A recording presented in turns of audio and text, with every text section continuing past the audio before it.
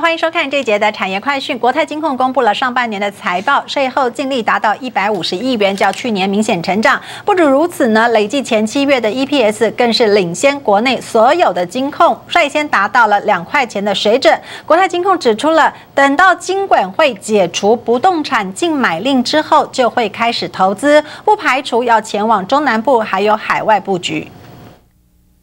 外资法人很满意，国泰金控法说会只花了三十分钟火速结束。总经理李长庚不同以往，这次主动面对媒体提问，心情会这么好不是没原因。国泰金累计上半年税后净利达到一百五十亿元，较去年五十四亿大增百分之一百七十八点五，EPS 一点三九元。国泰金所有的伙伴基本上都非常的努力啊。那么当然今年上半年。呃，到现在为止，我觉得我们还算缴出不错的成绩。